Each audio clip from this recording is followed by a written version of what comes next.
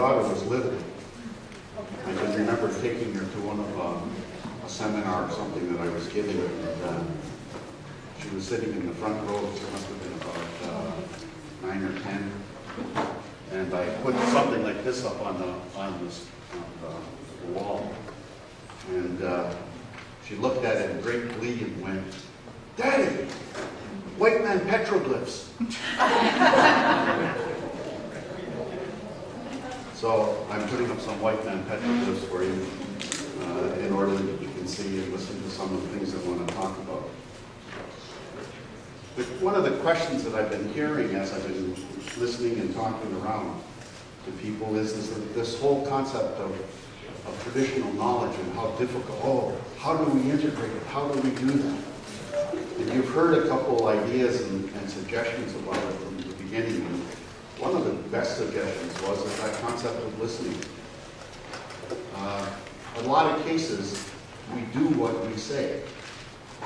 And so when I was saying, somebody said to me, how, I'll give you an example. At Akwesasne, we use the words that come before all else as our environmental framework for doing environmental assessment.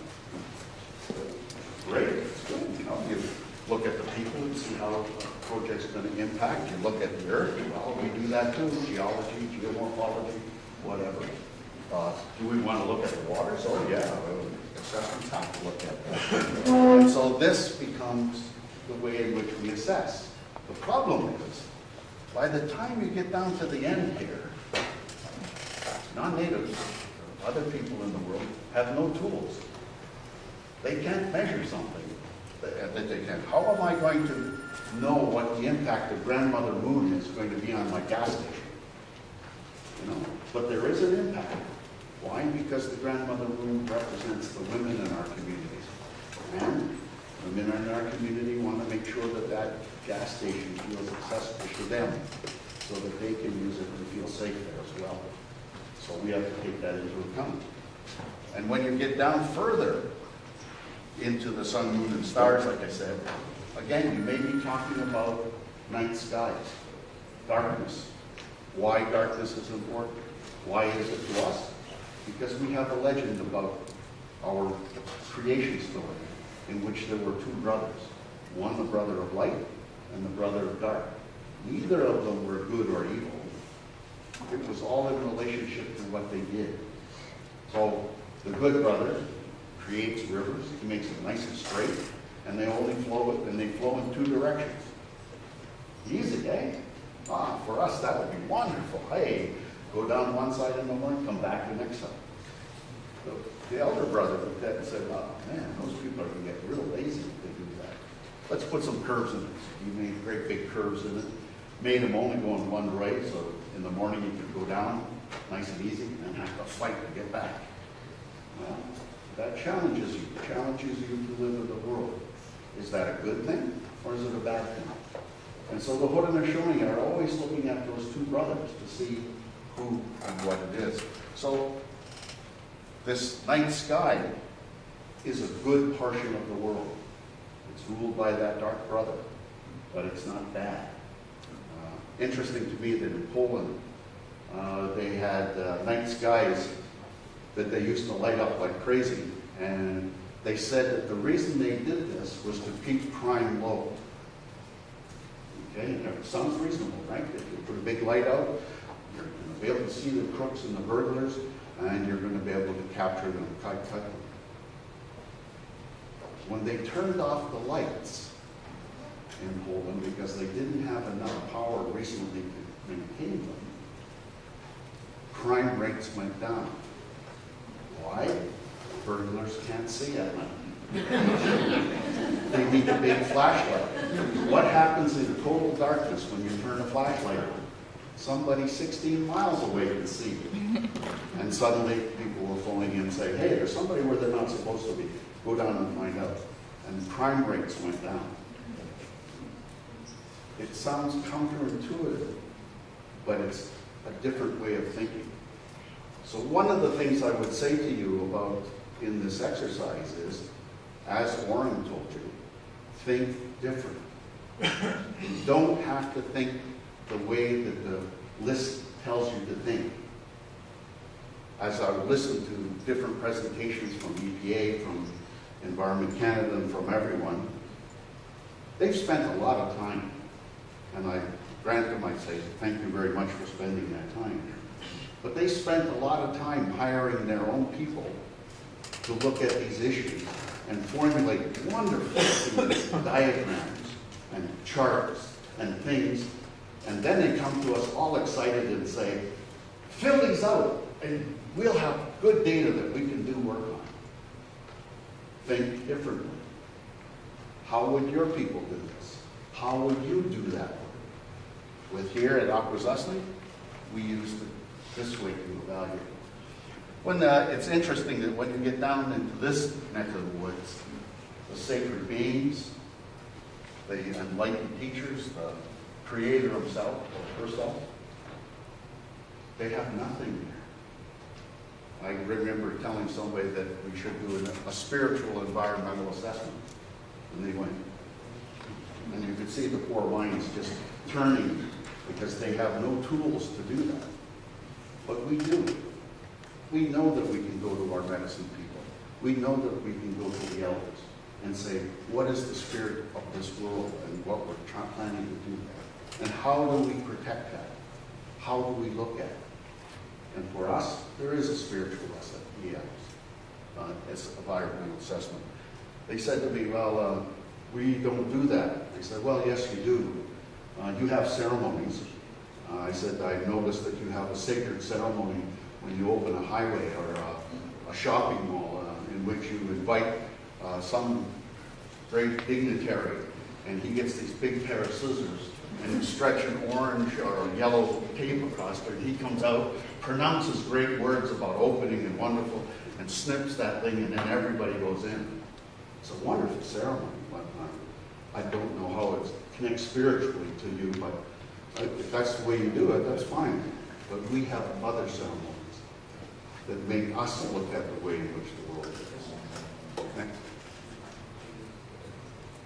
A lot of times, too, that we, when we talk at each other, we don't speak to each other. And I use these, these, because I want to criticize both sides.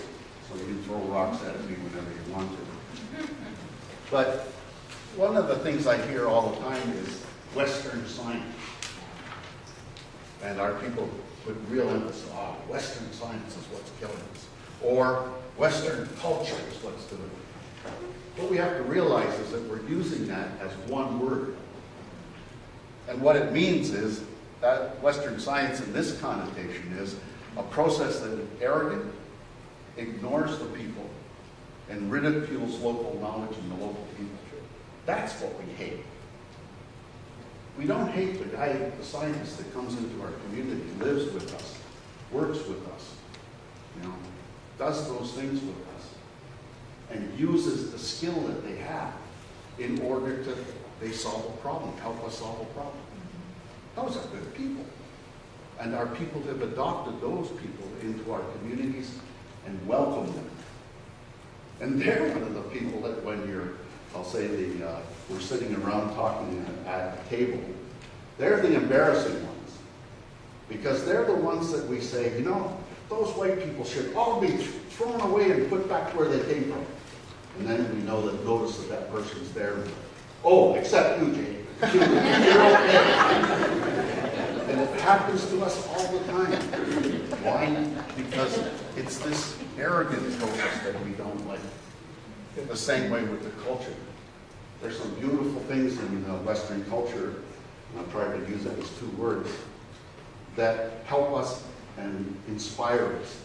The singing that we did, our opera singing yesterday, ah, wonderful things. We, is, that, is that Western culture something that we should learn? It's this dominator society is what we're worried about, that doesn't listen to anybody and wants to dominate nature. But when that society or people in that culture say, how do we work together? What do we do? Well, we say, that's, that's, those are good people. And again, we run into this situation where we say, oh, we shouldn't be doing that because that's not part of our culture. And our children say, wow, we, but we like doing that. We like dancing. We like singing. We like hip hop, which I can't understand. but- And again, it's an expression, a way in which we do, and we don't look at it as something that is foreign or unusual to us. From our side, uh, you hear this all the time, Mohawk people. Now, when we say it like that, or Native people, we're saying it as it represents that ideal state, the ideal people in a community. And we all know that everyone in our community is absolutely perfect, right? Yeah, we all know the person down the end of the street, that sometimes even our own people are worried about. it. But we use that term in order to exemplify the highest qualities that we think of. And we try to live up to those qualities, as many of our teachers have been telling us. The same way I always like the concept of an elder. If you go to Warren, he's not here today, but if you went to Warren and said, Warren, are you an elder? He'd go, oh, God, just, no. And I, and I, people say to me, well, are you an elder? And I say, no, no, no, hold it. I'm only 65. I want another 10 years to be irresponsible. So try to keep that term away from me. Because as soon as I take it on, I have to be responsible. I have to be that person. And our people, I always say that, that to be an elder is an acknowledgement by your community or your group. It's not an appointment. And so you could have an elder who is 15 years old if that person exemplifies those things in your culture that is so important to you. The Dalai Lama is chosen from a boy by a group of priests or other lamas at birth. And they all know that that person is, will be the new Dalai Lama. It doesn't depend on age. It depends on the wisdom that the person has gathered of age. So this, I call it the ways of misknowing things. And when we don't listen to each other carefully, we misknow what we say, and the stereotypes come up. Traditional knowledge is some of the things that we've been talking about. And there are many myths associated with it. Um, just listed a few of them here. Uh, only Native people have traditional knowledge. All you non-Native people, I'm sorry, you just can't have it. You have to be like us. And I'm not so sure about my brother here who's uh, of a little bit darker color. But why? Why do we make it that way? I, when we set up COSEWIC and the uh, Traditional Knowledge Subcommittee, one of the first things that subcommittee did was said to the big board, what about your own people? What about community knowledge? The knowledge of your own people. You realize that in Canada, the northern cod would not have been declared on the species list if they would have listened to their own people 25 years ago. If they had gathered that information instead of depending upon only the science that they had, they would have known that the cod are, are disappearing, and they would have taken steps at that point. But Joe Bloggs down at the end of the road running his boat out to catch fish isn't a scientist, and so therefore can't comment on this. I was saying this morning, in Akwesasne, when I want to find the turtles in my community, do you think I go to the elders to ask them? No, I go to the kids. The kids know where every turtle and this frog in this place is. Why? Because they're out there all the time looking. And so I go to them and I say, Where have you seen this turtle? Oh yeah, it's down at the end of the street down there in the big pond. You know the big pond? The one on the side over here. Well, it takes me 20 minutes to find it because I haven't been at that pond. Do I quote that person and say, uh, this information to me was given by uh, Jake Wazor, a scientist 10 years old, who told me, showed me where these were. No, we say, ah, as the scientist, I have discovered turtles. My grandfather used to say that the Haudenosaunee discovered everything in this world. We even discovered radio. You know that? I I don't know any of you probably, you'd probably think it was this Marconi guy that discovered the radio. There was a Haudenosaunee person in uh, St. John's, and he walked into the hotel room, knew where Marconi was, opened the door and discovered the radio, you know, so. And how silly does that sound when we talk about this?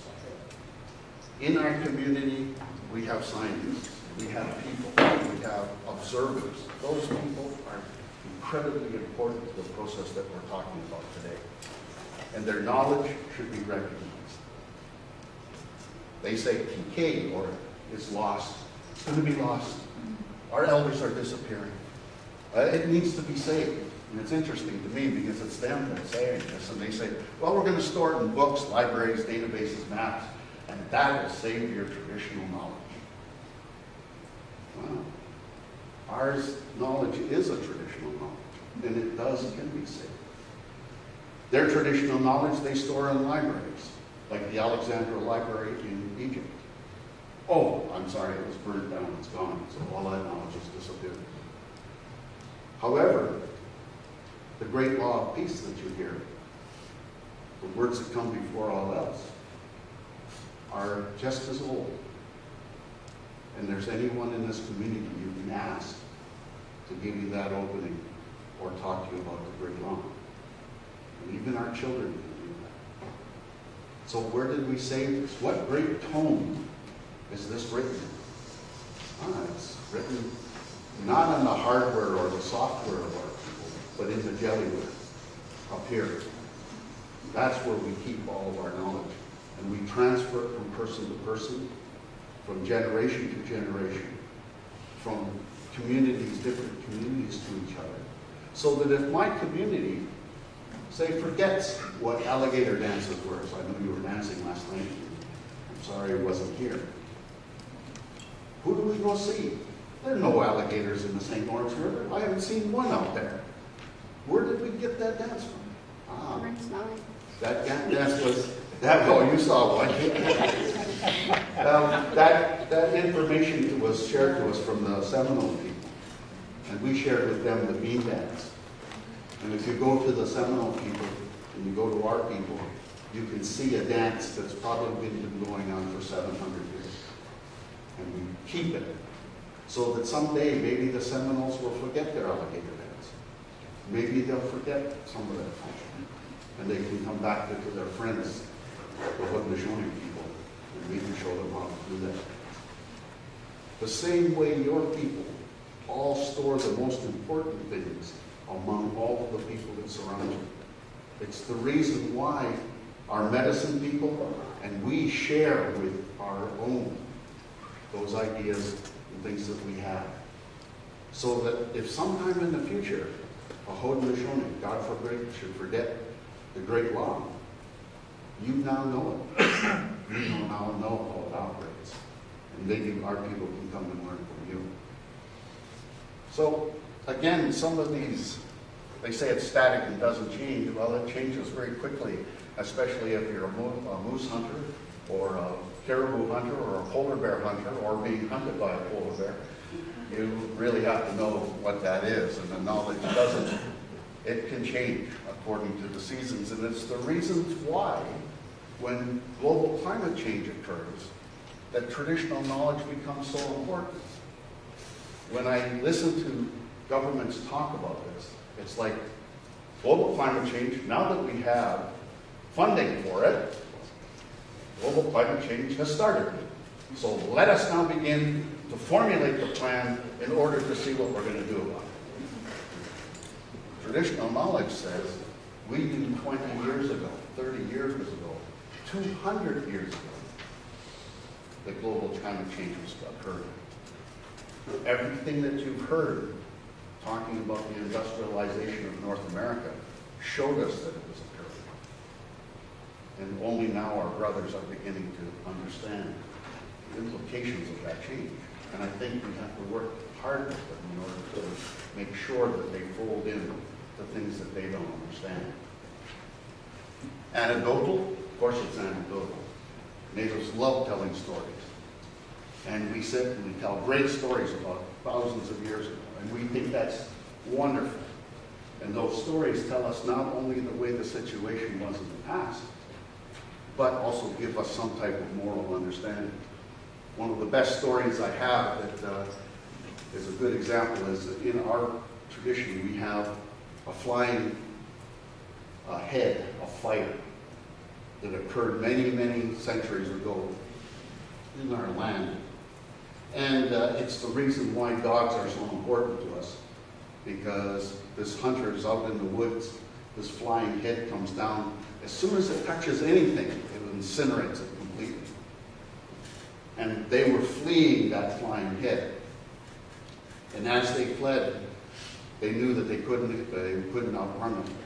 And so the male dog said he'll stay behind and distract it and sacrifice himself. So he sacrificed himself. Flaming head consumed. And s- again they ran. And because the dog knows that humans are not as fast as they are, he wasn't going to survive. And so the female dog said, I'll stay behind so that you may be able to flee and get away. And that he, she sacrificed herself to us. And so for that, we honor the dog. But what was that flying head? As a scientist, a biologist, and Very curious about our legends. I could dismiss it and say, oh, it's a fairy tale. it Means nothing. Until I talked to my friend who's a nuclear physicist in the Navajo. And he said, do you know something, Henry?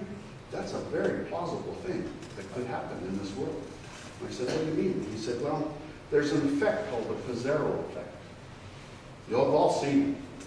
It's the lighters that you get that make the spark, not the ones with the wheel on it, like flicking your bit, but the ones that you press and suddenly there's a, a click and a spark is produced and the flame is ignited.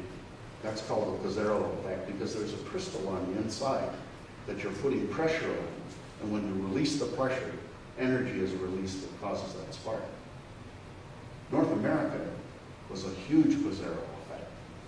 Where we are right now, 10,000, 15,000 years ago, there was seven kilometers of ice here.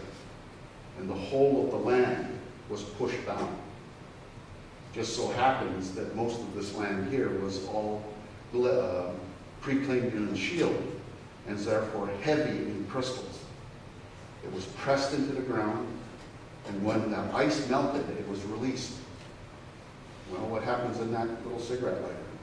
Suddenly there's a ball of energy that was released into the air, and it would travel all over the place, looking for a good conductor. And just so happens, I'm a good conductor. Hit me with a couple hundred million volts and amps, and I'm incinerated immediately. So here's a nuclear physicist, Navajo, and myself discussing the legend today, and suddenly I can describe what that looked like 15,000 years ago. It took us a little bit of time, a little bit of effort, but we now know what it was like then. And maybe what we need is, uh, under our risk prevention, is uh, a flying head uh, policy that will put up big spikes so that we can ground them before they come after us. I don't know when we have to do that, but uh, we know that our legends talk about it. It's not objective. I've heard that say. I found that working with truly great scientists, in many cases, they're not objective. They believe wholeheartedly in their, in their work that they're doing. And that they put that energy into it because they're not objective, because they want to look and find the facts and find the things out the same way our people do. And when we see that in another person, we see that light burning in their eyes, and we know that we want to look at that. They also say that it's uh, more mystical than factual. Well, stories tend to be, our stories tend to be mystical. And that TK is the same. So as a native person, TK is the same all over the world. You could take me and drop me into the Arctic on an ice floe, and Henry Lickers would survive. Because he's a native and he has TK. A great big polar bear come along, eat me the first right off the bat. There's Norma there to help teach me what I have to know. And what I need to do is when I walk into somebody else's home or territory, I have to humble myself. That's incredibly hard for a Haudenosaunee, but I have to humble myself. I have to be as a child. You have to take care of me because I don't know the land. I don't know this place. If you come here, we have to do the same for you. We have to show you where the dangers are and make sure that we take care of you and make sure that it's done. So TK isn't the same. We use the concept here of that overarching thing. We use the concepts of knowledge, but it's Mohawk knowledge, Mohawk traditional knowledge, Cree-traditional knowledge, Anishinaabe traditional knowledge. But what is the overarching one? And we use that called naturalized knowledge systems. It's naturalized because it's adopted uh, for common use in an area or naturalized to that area. It's like you can become a naturalized citizen of Canada. What do you have to do? You have to learn stuff in order to do that. The same way that if I come into Norma's community, I have to learn stuff in order to live there. I have to naturalize to her not area. And that takes time. You can't fly in one day and fly out the next day and say that I know all of the things in that area. The knowledge is a deep or extensive learning. It's a product of knowing. It's kept by those elders and people who live there. So the knowledge is deep and it, it can protect you. It's a system because it's a combination of all those things, and we use it. The system passes it from one person to another, to one generation to another, and helps us live upon that land. I said to, uh, if we use this, then I can have French-Canadian knowledge here. Uh, we have barbotte fishermen that come up and down the river and have been doing so for two or three hundred years maybe. They didn't learn anything? Uh, I don't know, but white people can be pretty smart. You know, pretty smart people. And they can learn where the barbotte are, and they can work with us. And we can honor their knowledge, and they can honor our knowledge. And maybe we get a better understanding of the world. Next. Again, we talk about types of knowledge. So an innate knowledge is the knowledge that you're born with, those things that you know when from your, out of your mother's womb. Intuitive knowledge is why and how things are. And sometimes we call this the tradition, the creator's knowledge. Navajo believe that there are no new words in the world. Every word that you need is here already. So I said to my friend who was that nuclear physicist, I said, what's the word for computer? And he came up with a Navajo word. I said,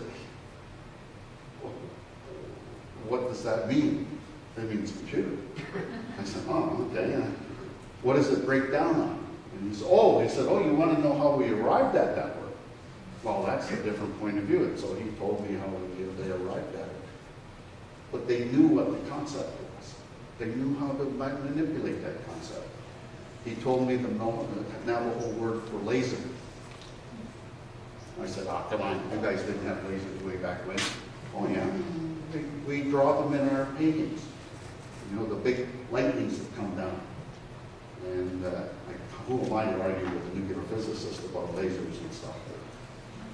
But they have those. The same way we can do the same thing with our language and build it. The empirical knowledge is the knowledge that we gain from experience. And again, one of some of the things we're talking about here is what is that knowledge? And we say that you have harmonious knowledge or spiritual knowledge when you reconcile all of these together. And our elders and our people spend days talking about this.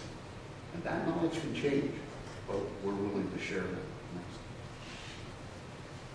We also have principles that we know exist for any peoples who live close to the earth. At first, being Henry Lickers and being the way I am, I didn't believe everybody had that. These, white people couldn't possibly have that. Uh, that the earth is our mother. Cooperation is the way to survive. Power, knowledge is powerful only if it's shared. Responsibility is the best practice. Everything is connected to everything. Place is important, and the spiritual, world is not distant from here. It's right here. And one of the things that I found was in my travels, for example, in France, I was talking to uh, a, called himself a peasant. His family had lived on that land for 1,500 years and had farmed that land. One continuous family there. And I tell you, when he talked about La Terre, La Terre was the Mother Earth. It was that place that gave him all and his family everything that he needed. And as I talked to other, other farmers in other places, that concept of the Mother Earth was there. When I went to Germany, I thought, oh, not here, because they talk about the fatherland. And I thought, oh, well, that's it. No, no Mother Earth here. Until I asked him, and he said, yes, we have the fatherland on the Mother Earth. And she's a very voluptuous looking lady, big, uh, just amazing when they draw her in, in art. So I think people who live close to the land hold these principles or themes as important.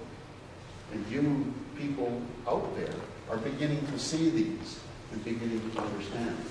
It is not survival of the fittest. It is cooperation is the way we're going to survive. And we've known that. Uh, good stories in our, among our people about how rabbits and wolves cooperate together. And as ecologists, we usually call that predator-prey relationships. And it takes a long time for people to understand. All of these things are what exemplifies how we live. And so, what do you say? If your lifestyle is nested in the environment, you believe those things. But as you pull it out of the environment, those things start to disappear. Suddenly you believe the earth isn't your mother. That survival of the fittest is the only important thing. And as you go through those and lose them, your spirit and your people are disconnected. I like Paul Ehrlichman in one of his books wrote that economists are the only scientists in the world that believe the world runs on magic has no connection to the land or anything at all. Just magic. The magic of the marketplace. And how foolish does that sound to us? Some of the frameworks, we believe in responsibility to the world. Usually you, in a dominator society, you, you is based on what we call the legal minimum. So legally, what level do you establish a standard for? you a standard for the minimum amount that can be tolerated by that society. Uh, and so, again, you have problems with. Scope hierarchy is important to us. The great way of peace is the way in which we work. Cooperation here through contracts and agreements. And the environment is protect, environmental protection overrules economics. And in the outside world, we see that as being directly This is just one thing because I've heard this a number of times as we talk about this. How do we look at scale? This again is another person, and I think a photo him and I were talking about this concept that you hear our people say it, that a cause is like dropping a pebble into the water. You drop a, a stone into the water, it ripples up. And that represents this concept of a hierarchy of cause and effect. I'm not going to, I'll show you the next one. This equation across the top is which with integral signs and a whole bunch of thought. didn't put them up there because I'm not a math person in that way. But this is the way in which we think about the world. And so when somebody says to us, is global climate change occurring? We have to look at every one of these humans. So as an individual, how is global climate change affecting me? Well, geez, I'm, I notice it's getting much hotter than it was before, and I don't like the heat, so I'm living in the basement much more than I was used to be living up above. What does that mean to me? I don't got as good a tan as I used to have. Is that important? Oh, yeah, it's important to me. To my family, how is global climate change? We had a bumper crop of tomatoes this year, and it was the hottest year that we've ever seen. We collected, couldn't hardly collect rainwater. We had to do a lot more watering, but the crop was amazing. So global climate change caused more tomatoes. Uh, Is that good? Oh, yeah, it means maybe I'll have good, good traditional foods like spaghetti over the, over the winter. To our group, or our community, was their impact? This year, there was big impact as that change sucked up water, did things in our community that we were seeing. And depending on where the hierarchy is, we have to describe those and see them. We talked about the nation, the Mohawk Nation, and how that would spread out to the Confederacy, because I'm a Seneca, these are Mohawks that lived here. So how did it impact on the Senecas? Well, we talked to the Senecas, we talked to the Oneidas, we talked to the Onondagas, we talked to all of them to find out. And then we're not quite, still not quite sure. So we may talk to other confederacies, to the people who live other places, to the north. And one of the reasons that you're here is that we're reaching out into your people as well and saying, well, what's happening in your community? What are you seeing? How can we protect ourselves? Lastly, we know that the spiritual world surrounds us. So is global climate change affecting that spiritual world? And I would say to you, yes, it is. Ceremonies that we hold in Akwesasne, the thunder ceremonies, are performed when we first hear the thunder in the spring. And we send the grandfathers away, we say, when we hear the last thunder of the season, so that they can go to Florida and rest, and then be ready to come back and do what they're supposed to do. And what we're noticing is the period of time that we can send them away is getting smaller and smaller and smaller. So what does that tell us? It tells us that all of those things that are under the ground that they protect for, maybe hydrofracking, are starting to get loose. They're starting to come up. And those thunders have to stay here more and more, stabbing the ground in order to make sure that they stay under the ground. Because if they get loose, we know that we're in big trouble. So there's a ceremony that spiritually tells us that we must be vigilant on this land. And I'm sure that in your communities, you have ceremonies that are tied to the, the land itself, and that you're watching those ceremonies shift. And that big concern to us, to the medicine people and to the spirit people when we see them. Uh, this, I'll go back just one second.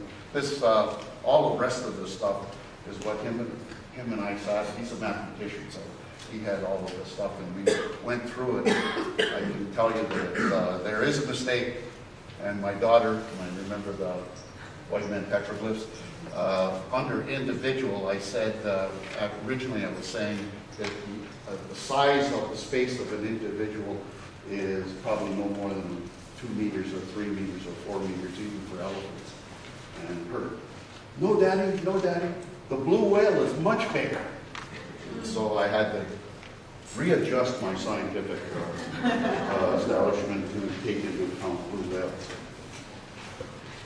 Does this have a sphere for myself? I'm Henry Lickers as an individual. I have a family of three grown kids. Uh, You can see how long ago I wrote that. 42 years her and I have been together. Uh, I started the Department of the Environment here, now the science officer. I worked with the, the nation on species at risk at that time, but I worked with other nations. And I also have uh, scientific co-chair of the Haudenosaunee Environmental Task Force. At each of those levels, I have responsibilities that I have to fulfill. Is global climate change impacting on all of those levels? And I would say, yes, they are. How do I put that into those forms that I see? It requires a different way of looking at things. And it requires a different way of working together. I use this with my non-native friends because it, it's, but it, in essence, is a translation of the Great Way, the Great Law. I use this concept, uh, first time I used it, I kept thinking to myself, what catchy phrase can I use to get them, you know, some Hollywood that, that will make them listen. And so I used the concept of the zeal to deal. Not the deal, but just the enthusiasm to do it. And in many ways, the great law of peace wants you to do that. It's creating that enthusiasm. And so respect, equity, and empowerment became those three words. But there are tools of respect. Understanding, communication, consensus building, mediation, honor. And you can use this to analyze where you fail. If you don't communicate well, we'll talk about, And suddenly the deal falls through. Nobody wants to do it. If you don't understand each other and you talk past each other, the deal will fall through because you don't respect each other. And so these become not only the way in which you create that enthusiasm in the deal, but the way that you look at your success or failures. Equity that Orrin used yesterday is not just finance. In a community, the biggest thing is the knowledge that they have. The networks, the personnel, social or political power. And yes, finance is there. And we say that equity has to be transparent. So that the Canadian government says to me, we'd like to work with you on climate change, and we're willing to give you $30,000 for all of your knowledge. Oh, Boy, that don't seem too ethical to me. It doesn't seem that the equity is even there. You know, somebody's getting a better deal than I am. And unless we figure out how to bring that together, boy, I really don't want to work on that deal. Empowerment says, do the task that you set out. Application. So if we say we're going to do something, do it. Don't wait around. Don't plan another 16 plans. Go out and do it. I always like the beans. If I use this with my own family, I understand that the garden has to be done. I know there's work to be done. I get out there to plant the beans because if I don't, there's no deal. There's no zeal in there. My wife shows me that there's no zeal in there and tells me to get out there and plant. For academics, we talk about authorship. What's wrong with Henry Lickers putting Jake Lazor's name on my paper as the person who knows where those turtles are? I didn't find them. He did. He's my scientist that's working in the field to do that. And what does that do? It helps Jake Lazor in his reputation as a turtle finder. And I've seen papers at Kasiwik in which I questioned the author, and the author said, no, I have no ATK in this, this, this paper. And I said, what are you talking about? You go to the last page and you went to Conne River, small native community in Newfoundland, and you talked to Mary Two Axes. I noticed that that's a very common English name, right? and you asked her where this mold or fungus grew, and she took you to that place. Does she know? Oh, yeah. I said, isn't that ATK? Who was she? I don't know. I said, sounds like Maliseet to me. Maybe not. So you have ATK in here. Why don't you acknowledge her? Oh, I didn't think of it that way. Well, we have to start thinking that way. So authorship becomes one of those things. Elders, I think, should be on every paper we ever write because they are the authorities that we look to. We gain credibility, we build partnerships, and we accept responsibility. If we do it wrong, we say it's wrong, and we say we got to fix it. If we do it right, we pat ourselves on the back, have a big dinner, and we all happy about it. The other one is the concept of time. We talk about seven generations to come. Really easy to understand. You know those seven generations. Those are your family. If you sit, stand in the center, you know your mother. You know your great-grandmother and your great-grandmother. And you will know your children, your grandchildren, and your great-grandchildren. So if you're standing here, of course you want to take care of this one.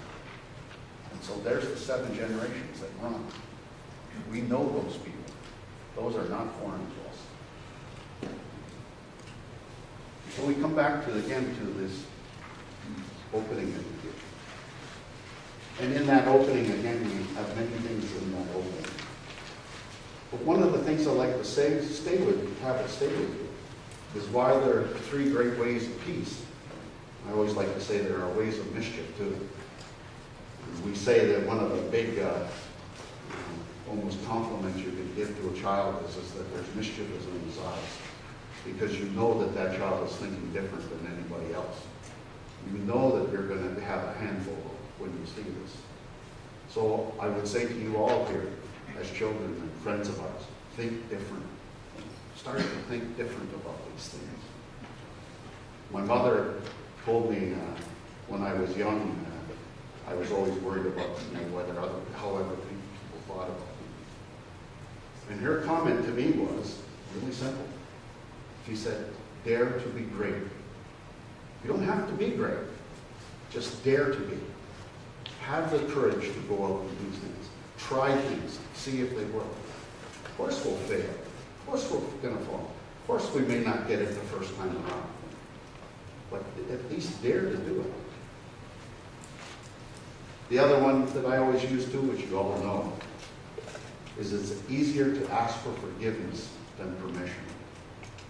If you ask for permission, you'll find 1,600 plans and reasons why you shouldn't do it.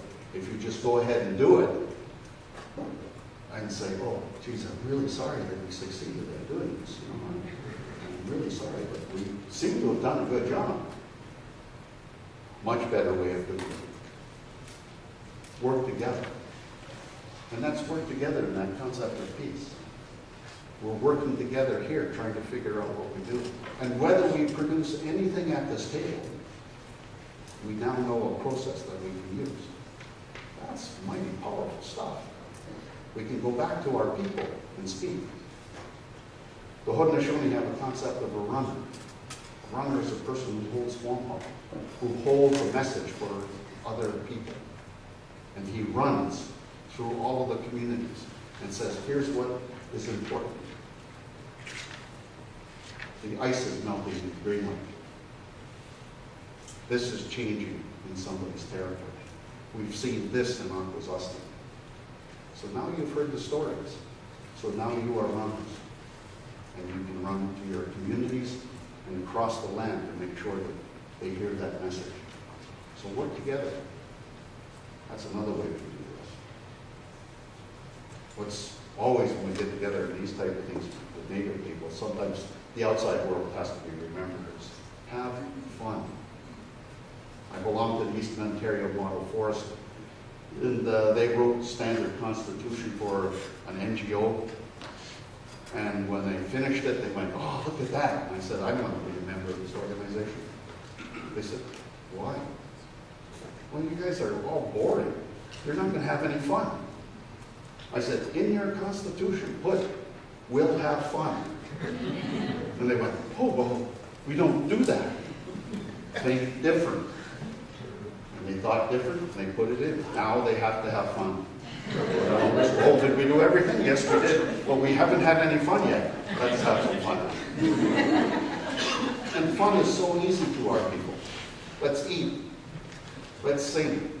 Let's dance. Those make us want to do it more and more. The other one is, among our people, is you are not alone.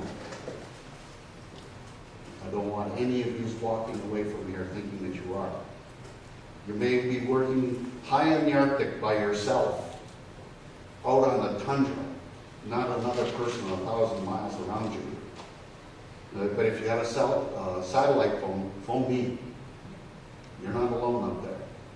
We know, we know each other. We are brothers, we are sisters. And you're not alone in your struggles. And by talking to somebody else in this world, you have the burden of pain. I always like that concept. If I share my pain with somebody, I've just cut my pain in half. And the more people I share it with, the smaller that pain becomes. And loneliness disappears. This is one of the problems that our children feel when they think that they're alone. The opposite side of it is when we work together and we do something good, now I have twice as much. I've just empowered us twice as much. If we have 10 people, we may have 20 times as much. It doesn't grow just one by one by one. It grows in great leaps and bounds. And lastly, I would say to you that in that form of the words of mischief, is that you will win. If you are right in what you're thinking about, you will win. Why? Because the other side can't keep up the fight as long as you can.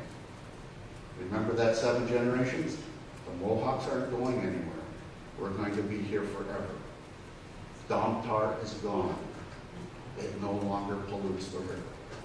CIL is gone because they no longer. General Motors is just about there. I think they're tearing the building down now. And so when we thought, think in these long terms, not only do we protect those people in the future, but we will pass the fight on to our kids. We'll pass the fight on to the seven generations to come. And that law that on the fur buying that we, Norma and I fought off, and sometimes among ourselves say, well, we lost that one. Uh-uh. We will win that one in the long run because they can't keep up with us. And my kids and her kids and their kids beyond them. So we will win in this. When you're saying about staying connected, no, we can do more about that today than we could ever in the past. Realize that uh, the Haudenosaunee people knew about the people on the West Coast. Um, in our stories, uh, the West Coast people out there had those big poles, great big huge poles. They went right up into the sky. And those totem poles held up the western sky. And our people went out there and saw them and said, wow, these are incredible people. They are fish people. They jump right into the water and they just swim all over just like fish. Wow. And of course, in our legends, they morph into fish type people. Wonder what we morphed into, but that's a different story. But to the east, we knew about the Mi'kmaq, the Maliseet people, because they were people who protected eel, protected different things.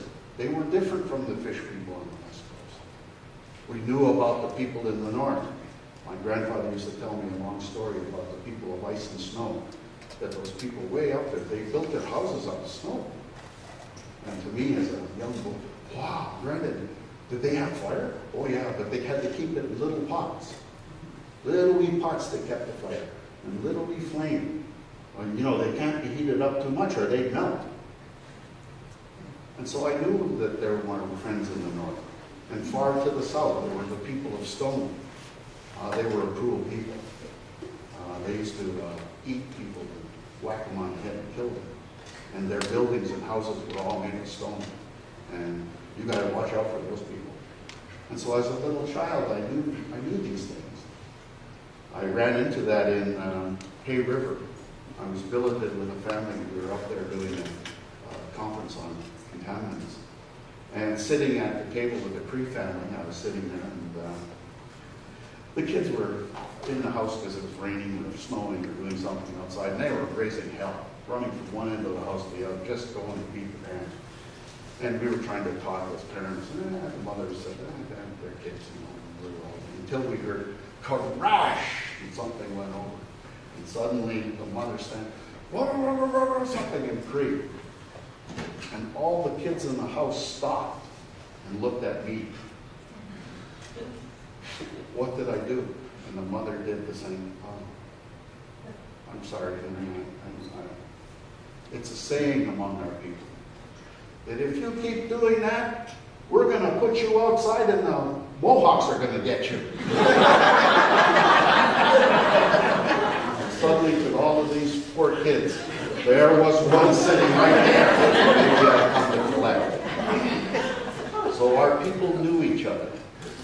Nowadays, we can stay, we visit. Visit with us. If you're coming past this way, don't be shy. You've been here once. You're now our friends. Come and visit. There's another little invention that the Haudenosaunee make, it's called a phone. That you can pick up if you're feeling lonely or you're feeling you need some encouragement. Bonus. That goes for you guys too, for other, other people's here. Uh, what's this thing? Email, email, or email, sorry. Email. We use that a lot nowadays. I, I, even though my mother used to use And the thing about us was, is that we use it formally, as if I'm talking to you here and here. I wouldn't shout at you. I wouldn't use obscenity. I'm not going to be trying to be cruel to you. I use that with the pride that I feel in my friends. Uh, Google, I like that word, Google. You can uh, go ego surfing for me uh, if you put the quotation marks around it and put Henry Lickers in. God, you find just about everything I've ever done is on that page. It's a good place that I can I'll Google some of you people just to find out what you're doing. And we can use that in order to stay connected, in order to understand what we're doing. The things that I handed out there, uh, you can find them on Google. Uh, they're out there. YouTube, uh, you can hear me talk about four or five different places. Maybe you won't want to, but it's out there. I know I found Norma a couple times, and uh, some of the other people that I, Orrin, oh my God, he's almost got his own site. You can go there and listen to those words again, and hear them, and see them, and review them, and say, do we know what, what was said? We also establish networks. Norma and the friends on Kasiwik are my friends. When I go to the East Coast, I make sure I go and visit them.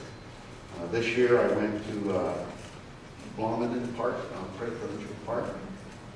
I stayed there for free for two weeks, and all I had to do was talk. Wow, for a Seneca, that's really wonderful thing. I gave a presentation to the park on turtles. And we had about 60, 70 people all sitting around a campfire that night listening to turtle stories. And the lady that was there, her husband sits on the ceiling. So there's the network. I got to stay in a provincial park for nothing. And why? Because I was a friend of a friend. Use those networks. When you need to try to understand, speak out, see them. And maybe once in a while, when we can steal enough money, uh, we'll have meetings like this. And we'll sit around and we'll eat good food, have some fun, talk about a whole bunch of things. And you know what? It's a pleasure to do that. I know that in our lives, all of us are extremely busy. When uh, a person says to you, what do you do in your community? And you say, I am the environmental science officer. You all know that there's a thousand more things I have to do than just that. And we do it gladly. Why? Because it fulfills our responsibility to the world around us and to our communities. And so I say to you, as the non-native people that are here, I, we, I always caution my graduate students when they work with me. I said, because I'll give you the caution. Caution is once you come here, and once you get known by our people, we will never forget you, and we will find out where you live. you will be asked that. So there's the caution. I say this very with great trepidation. You better be careful because we will find you if you want to work with us.